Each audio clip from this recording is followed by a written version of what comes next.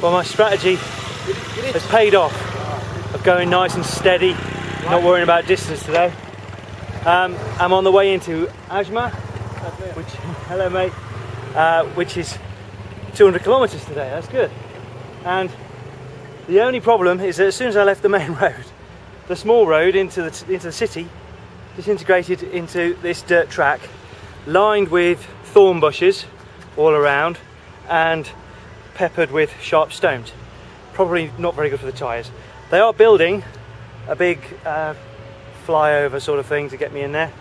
Uh, not ready for me yet. It's a pity. Maybe for the race in two years' time I'm organising. Maybe other people will benefit from it.